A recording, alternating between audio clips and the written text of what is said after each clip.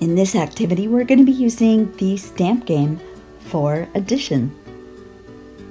You'll need some colored pencils, green, blue, and red, and your math book. Let's go ahead and have a look at the addition problem. 5,324 plus 4,302. Go ahead and write that down in your math book using green for the units, blue for the tens, red for your hundreds, and green for your thousands. Now we're going to start making the first addend on our mat using the stamps and of course we're going to start with our units. So I see that I need four units. Next, we're going to go over to the tens column. In the tens column, it shows that we need two 10 stamps.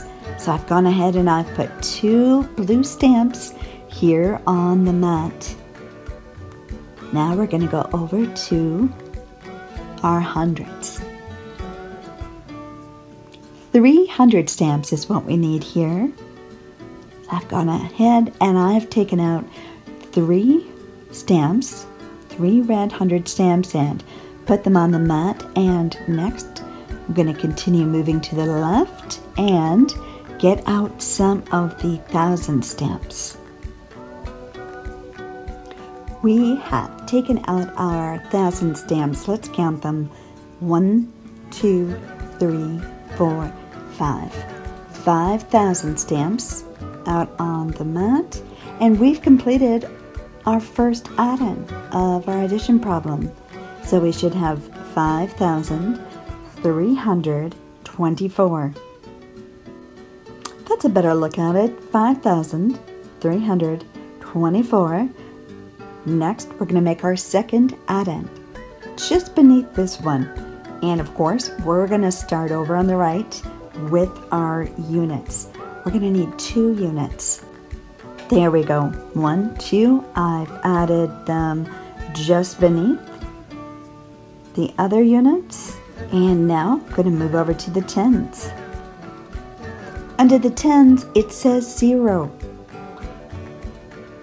We use these blue discs in the stamp game box to hold the tens place. If we have a zero in any part of our question, we still need to hold that family's place. So here it's the tens column, and I have this blue disc out, like I said, just to save it, save the place. Moving over to our hundreds, I have taken out three and put them on the mat. So I have 300 stamps just beneath the other 100 stamps, the other 300 stamps that we made for the first addend.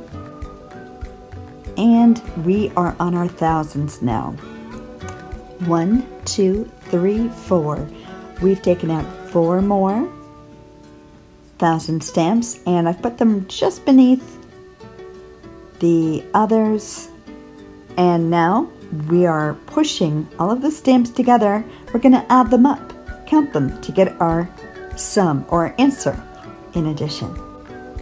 We start with the units. One, two, three, four, five, six. We have six units. So you can go ahead and write that down in your book. Six under the units place. And as we go to our left to the blue stamps or tens, we have one, two, two tens. You can record that, write it down in your math book with the blue colored pencil. And we have 600 stamps. One, two, three, four, five, six. Six hundreds. Now let's go to the left and count up our thousands.